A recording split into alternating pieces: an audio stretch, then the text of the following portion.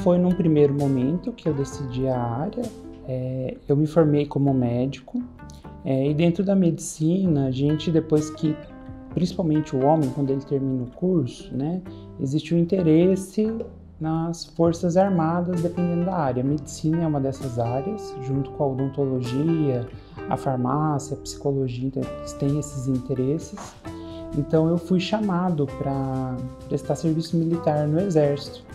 Eu fiquei um ano, né? já tinha passado uma primeira residência médica, que era ortopedia, mas nesse ano que eu fiquei no Exército, desempenhando a função de clínico, eu me interessei muito pela área da psiquiatria. Então, é, depois que eu terminei esse primeiro ano, é, ainda fui mais uma semana assim, fiz, comecei a residência de ortopedia, mas vi que realmente não tinha nada a ver mais comigo assim, né? E a minha esposa já tinha, estava fazendo o curso de psiquiatria e, querendo ou não, tinha uma demanda bem grande no exército de psiquiatria que nós acabávamos atendendo. Então, foi nesse outro momento que eu me apaixonei pela psiquiatria.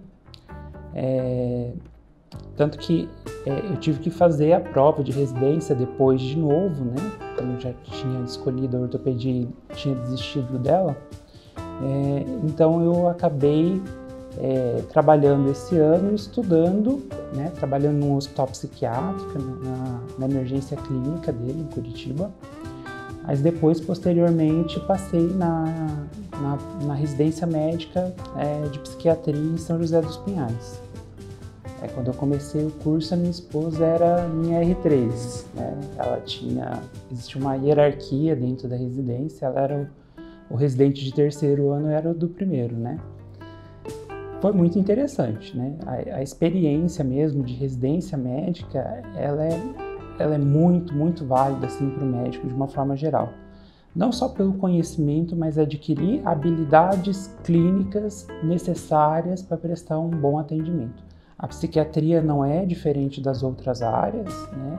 É, a cardiologia, por exemplo, existe dois anos de clínica médica através de residência, depois é feito outra residência de cardiologia, e dentro da psiquiatria a gente tem três anos de psiquiatria clínica, e depois existe, se o, se o candidato se interessar, fazer uma subespecialidade dentro da psiquiatria, né?